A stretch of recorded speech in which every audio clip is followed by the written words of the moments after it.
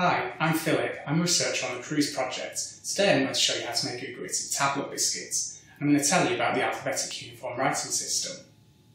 When you're doing research into ancient writing systems, we find it's really good to have a go yourself. So it's one thing to look at writing on the page or on the computer screen, but it's another to actually get your hands dirty and try writing for yourself. You learn so much more about it.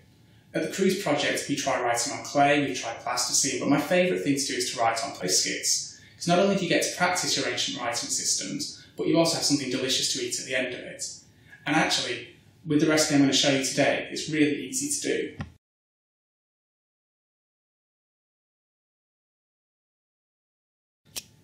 Ugarit was a city in what's now Syria. In the late Bronze Age, around 1300 BC, they developed a script based on cuneiform. Cuneiform is what we call the kind of writing that was invented in Mesopotamia, where signs were made by pressing little triangular indentations into soft clay with a stylus. Mesopotamian cuneiform has been in use for over a thousand years by this point. Was a vastly complicated system with hundreds of signs. What they did in Ugarit was to take this idea and simplify it, using it to write an alphabet of just 30 signs. This was one of the first alphabets ever produced, and the earliest one where we have surviving material in quite large quantities. We have thousands of tablets from Ugarit covering everything from mythology and religion to economic administration or medicine for horses. Because we want to press cuneiform signs into it, we need a biscuit that takes a good impression and doesn't distort as it bakes. You could use shortbread for this, but what I like to do is use speculoos recipe, and that's a biscuit from the Netherlands and Belgium. Um, they're really easy to make, and they take a good impression. They're often stamped with designs, uh, and around this time of year, they're also great because they're really Christmassy. So the first thing we need to do is to make our spice mix. Now you could just use mixed spice for this, but it gives a better result and it's also more fun if you make your own.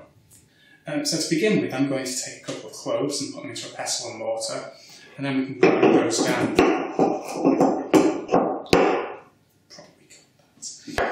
Um, next, we'll put in a good healthy um, amount of cinnamon, some mixed spice,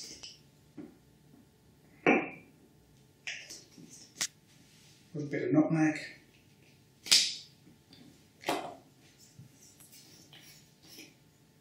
Some ginger. And finally a bit of cardamom. And you don't have to be too prescriptive on this. Uh, you can use whatever spices you have lying around, whatever you like. If there's anything you don't like, feel free to leave that out. Uh, this is the advantage of making your mix yourself. Okay, so once you've made your spice mix, next you need to make biscuit dough. So start off with that, we need 225 grams of plain flour. And to that, you just need to add a couple of teaspoons of baking powder. And give that a good mix. So next, you need to mix 115 grams of butter or margarine with 130 grams of brown sugar. You can use either light or dark brown sugar, whichever you prefer. I find that for this recipe, the light brown sugar works a little bit better for my taste. Uh, so we just mix those together. Okay, that should be fine. Next, we just add a couple of tablespoons of milk to that. One, two, and again we beat that until it's smooth. Might be a little bit runny at this stage. That's fine. Okay, so now we just need to mix in our flour into the butter and sugar mix. And then that's it. That's all we need to do.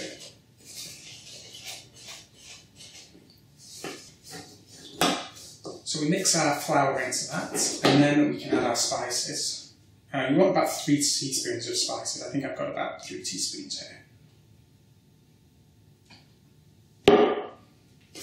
At this point, you should be able to smell them. Um, it starts to smell like Christmas biscuits. So give that another good mix, combine it all nicely. Uh, you can use your hands at this point as well. It gets a bit easier if you use your hands to bring it together. Just distribute the spices nice and evenly throughout the mix uh, bring it together into a ball.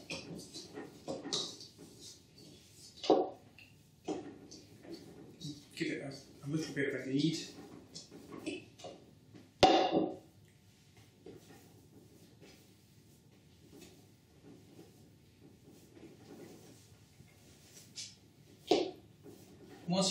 rice is evenly distributed throughout the dough. That's your biscuit dough ready. So once you've got your dough ready, um, you need to chill that for a little while before you actually start writing. So we just wrap this up in some cling film.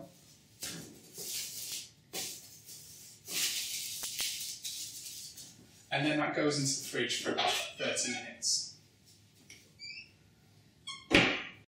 While that's sitting in the fridge, we need to decide what we're going to write. Um, as I said before, Ugaritic covers all kinds of different things. There are mythological epics, there are administrative tablets. Today we're going to keep things quite simple. Um, we're going to do this abecedarium. Abecedarium is just a fancy word for an alphabet. So this is a tablet with the Ugaritic alphabet written out on it, probably as a scribal practice by a trained scribe. But you can look up Ugaritic tablets to copy online. Um, I'll put a link to some in the description of this video. You can also go to the CREWS website and we have worksheets on there which have various ancient writing systems and you can use those to write your own messages. The main thing to notice about Ugaritic is that like modern Hebrew and like Arabic, it doesn't actually write the vowels. So if you're writing your own message, you need to make sure you leave those out. Okay, let's get the dough out of the fridge then. So what we need to do is roll this out and then get writing.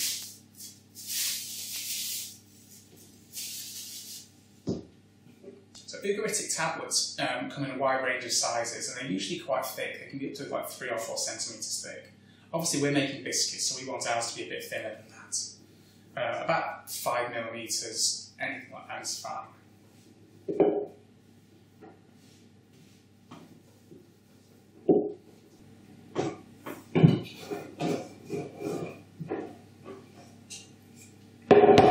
Okay, once you've got your dough rolled out, you just want to cut out some tablet shapes. So, again, um, Ugaritic tablets are often quite small. Um, this abecedarium that I'm making is actually not much more than three or four centimetres across. So I'm actually going to make this quite a bit bigger than it would be in reality.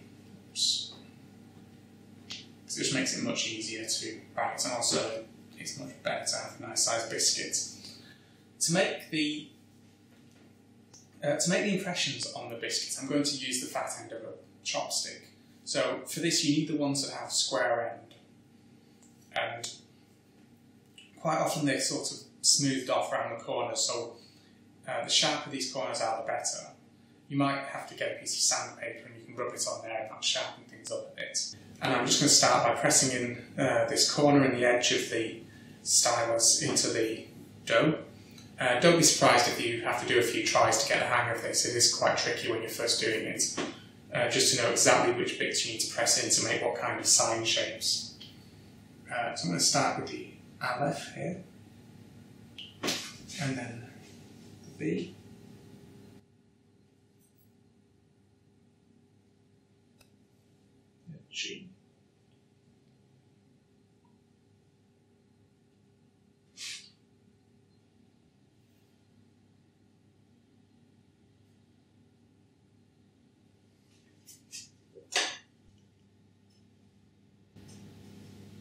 Once you've got your inscription written out, you need to lay your biscuits on a lined baking tray and put them in the oven for about 15 to 20 minutes. This one's been heated to about 160 degrees C.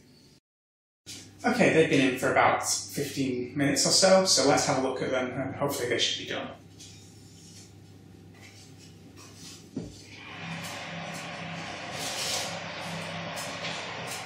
So they spread out a little bit, but they're still pretty clear impressions, not too bad.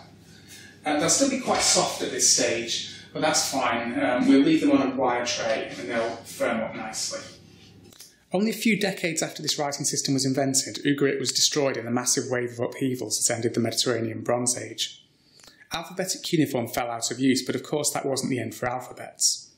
Not far to the south, another kind of alphabet had been developing in Phoenicia and Palestine. When Phoenician sailors ventured out into the Mediterranean in search of trade in raw materials, they took their alphabet with them. They passed it on to the Greeks, and the Greeks passed it on to the Romans. And from the Romans, of course, it came to us. So although the Ugaritic writing system wasn't around for very long, the legacy of that period of experimentation with alphabets in the Near East is still with us. So hopefully by making your biscuits you've learned a little bit about what it's like to write in cuneiform, what the challenges and difficulties are. Um, but also you'll have had a bit of fun and at least at the end of it you've got some nice biscuits as well. Thanks very much and if you enjoyed this do have a look at the CREWS Project blog or follow us on Twitter. Hopefully we'll be back sometime soon with more ancient writing baking.